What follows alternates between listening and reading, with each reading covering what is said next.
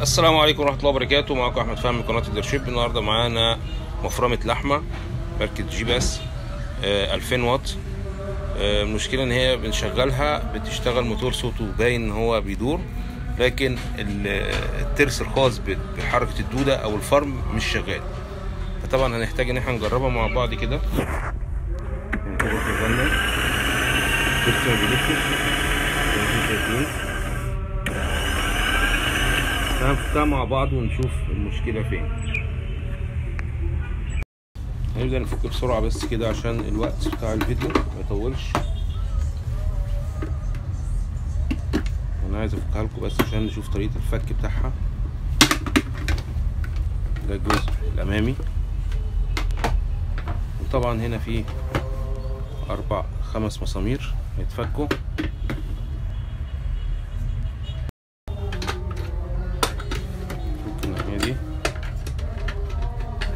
وهنا برضو في مسمارين تحت ال cover ال stainless ده أو شكله ال metal.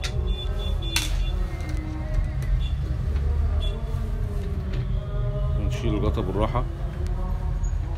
وعشان المسامير ما تقعش هيبقى بالنسبة لنا أهم حاجة موضوع المسامير.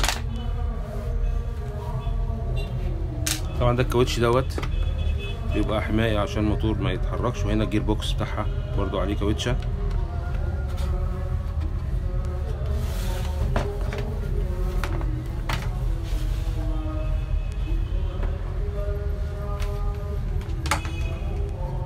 ده الموتور ريش التبريد المفتاح وده مجموعة التروس أو اللي هو ال gear box اللي إحنا هنبدأ نتعامل معاه دلوقتي ونبدأ نفكه. هو مربوط بست مسامير.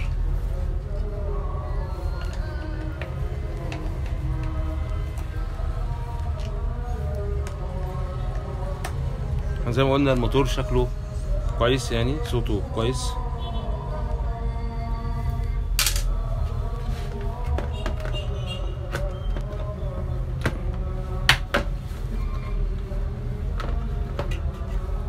كاوتش الحماية. أو بيعمل عدم vibration فيها عشان يحكم الحركة. طبعا مكنة أو موتور زي دوت مفرمة زي دي موتورها ما شاء الله 2000 واط قدرة جامدة كويسة. مش 1000 أو 900 أو 1700 في أنواع كتير موجودة في السوق يعني.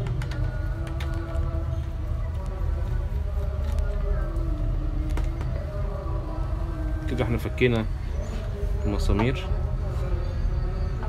ست مسامير هم المسؤولين عن مجموعة ال gear box.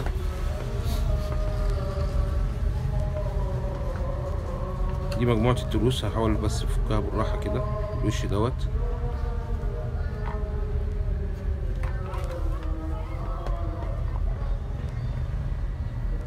آه. طبعا زي ما إحنا شايفين هما في تلات تروس. والاكس الأساسي اللي هو طالع من الموتور ده ترس حلزوني برضو. يعني ده واحد اللي هو في النص هنا. وطبعا ده زي ما إحنا شايفين كده متكسر. وده ترس بيستلم الحركة من الموتور وبيسلمها للترس الكبير. بعد كده بيستلم الترس الأكبر بياخد سرعته من الترس دوت. طبعا دي كده ترس مبقاش ترس. دي قاعدة.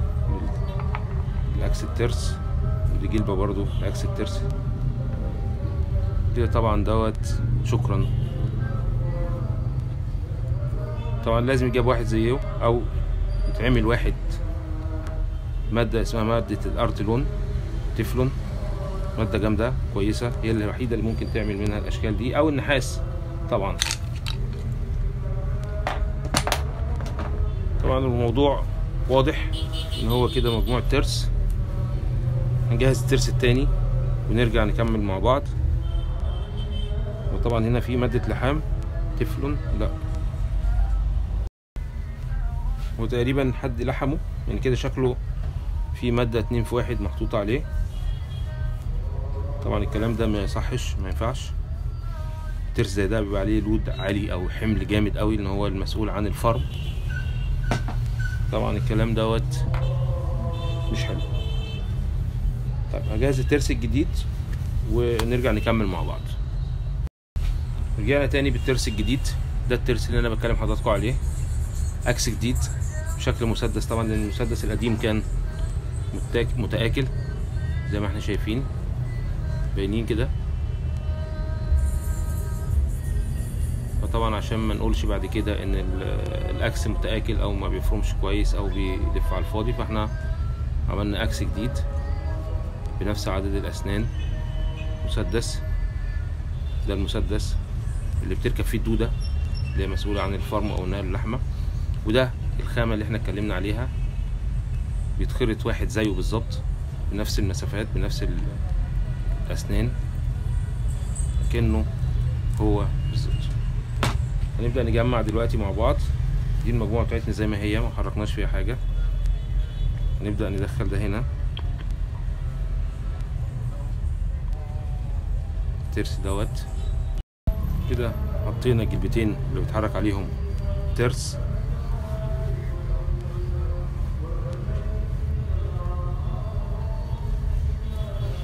كده حطينا. جزء طبعا ما بيوصلش لل ده الفاصل ما بين الجير بوكس وبين الموتور. كده وصلنا الجزء بتاع الموتور. هندي بس شحم كده. الدايرة بتاعت ترس. عشان تسهل عملية الحركة.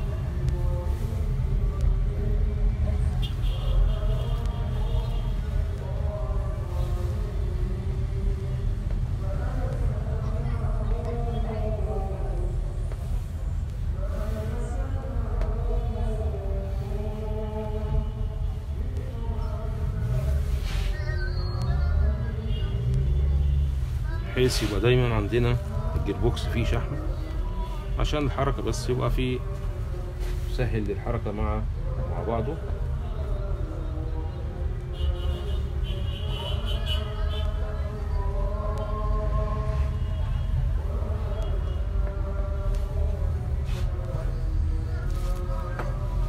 كده المجموعة كلها خدت الشحم.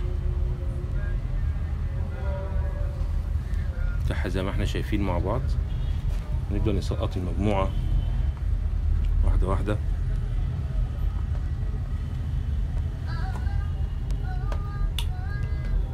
كده. المفروض هجمع.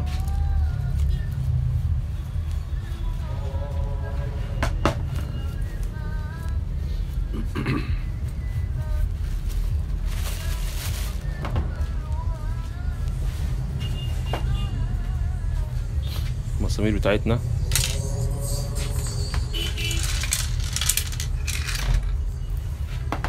ست مسامير عشان كلهم مقاس واحد طول واحد. خليتهم على جنب.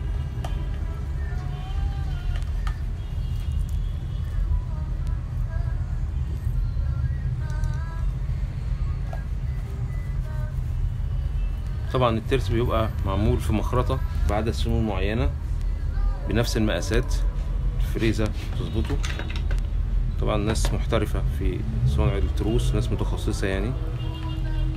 في حالة عدم توافر التروس كبارتس متاحة في السوق يعني.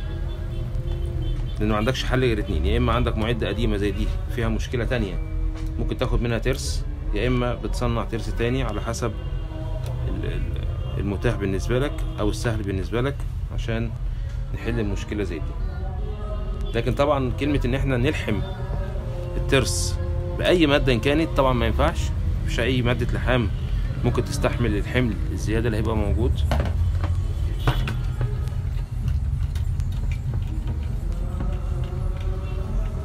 كده المجموعة بتلف بس طبعا عشان سرعة الموتور ضعيفة.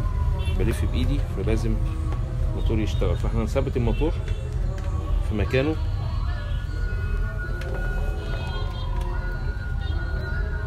بحيث يبقى إيه كل حاجة في مكانها. مبقاش محتاجين إن إحنا طبعا الكاوتش ده أهم حاجة عشان هو اللي بيعمل عدم vibration أو اهتزاز جامد لموضوع ال gear box. ممكن نوقف كده. عشان بس نشوف ال- الكابل مكانه. كده مجموعة قفلت. نقفل المسامير مع بعض. في مسمارين بتوع الوش الأمامي.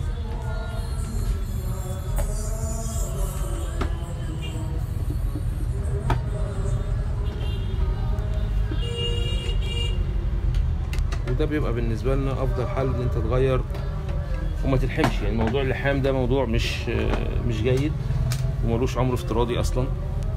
ممكن يشتغل معاك مرة ممكن ما يشتغلش ممكن يشتغل معاك مرتين على حسب. بس لكن عاجلا أم آجلا فهو مشروع غير سليم بالمرة ما بنحاولش إن إحنا نستخدمه أو نعمله في أي مشروع من مشاريعنا. عشان مش هينفع إن أنا أعمل الشغلانة وبعد كده العميل يرجع لي بيها تاني يقول لي نفس العيب أو نفس المشكلة اللي حصلت. من ضمن برضو الحاجات اللي عايزين ننوه عليها هي موضوع إن أنت لما تيجي تفرم لحمة رجاء تاكد إن مفيش عظم دي نمرة واحد.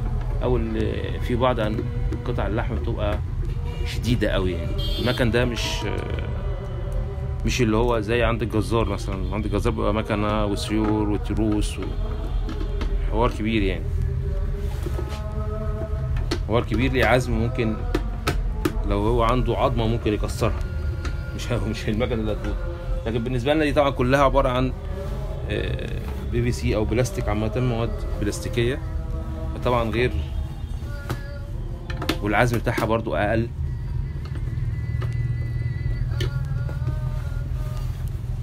كده إحنا قفلنا. شايفين الكاوتش هنا؟ ده اللي ماسك ال gear box.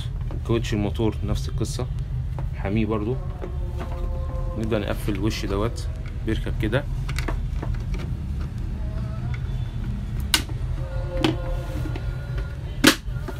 كده ركب معانا. كده المكنة ركبت. دي طبعا المسمار بيمسك الجزء الزور أو الزور اللي فيه الدودة أو المسؤول عن الفرم بالطبق اللي فوق. طبعا بس هو مش موجود حاليا عندي. إحنا هنبدأ نجرب كده مع بعض. ده الترس القديم. دي مادة اللحام اللي كان ملحوم بيها.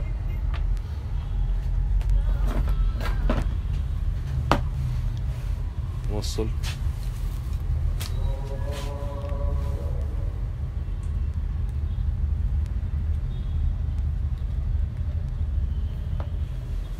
بسم الله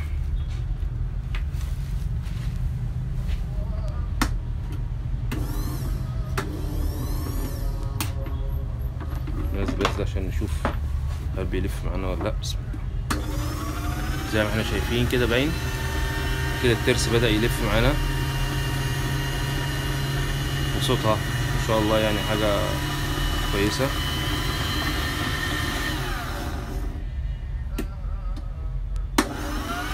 باينة؟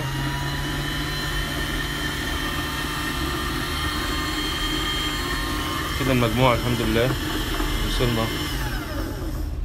إن إحنا جربناها وفتحناها وقفلنا مع بعض وعرفنا إن مشكلة الترس زي دوت لازم تتحل حل جذري ما ينفعش حل مؤقت ولا الحام ديفيكون اتنين في واحد.